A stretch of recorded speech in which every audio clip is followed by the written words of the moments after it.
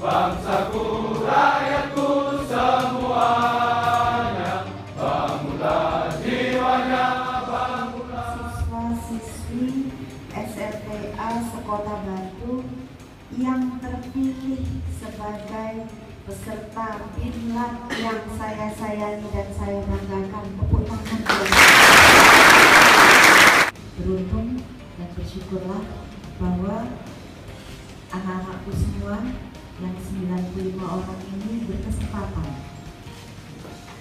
mendapat bimbingan dan latihan di Polres Batu.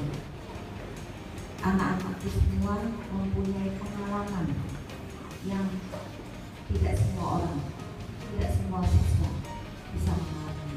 Pada hari ini, Senin tanggal 18 Februari tahun 2019, saya nyatakan program pembinaan dan latihan pelajar berprestasi Kota Wisata Batu tahun 2019 di Polres Batu dibuka.